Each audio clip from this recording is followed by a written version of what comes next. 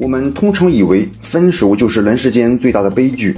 不过有研究却指出，无论是刚分手还是分手已久，人们的幸福感依旧会高于那些没有分过手的单身狗。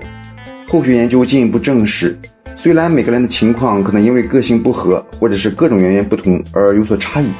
但平均而言，分手的确是利大于弊。心理学家跟踪统计了近百位大学生的情史，去分析他们如何度过情伤。然后发现，大多数人分手之后，都能平均获得五项正面转变，包括更自信、更独立，与家人朋友的关系更好，以及有更多机会学习新课程或者新技能等等。另一项研究则收集了上千份问卷，得出了人们平均在分手第十一周以后，就能用正面的角度去评价分手带来的结果，再次感受到世界是多么的美丽，空气是多么的清新。但正如开头所说。那些身处情伤难以自拔的人，通常会高估分手后的痛苦，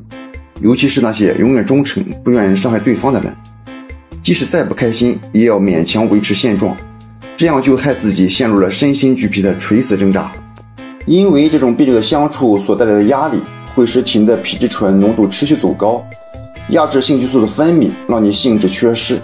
反观分手以后呢，因为长期压力获得了释放。性激素得以霸气回归，重燃你心中的热火，身心状况甚至可以比交往时还要健康。所以说，分手的好，挺过来的人都知道，一旦醒悟长痛不如短痛，就再也不必多犹豫，只要鼓起勇气断舍离，结局真的没你想象的那么糟糕。如果只是怕分手后的孤独的话，反正你还可以养猫嘛。好了，喜欢的就关注下，拜拜了。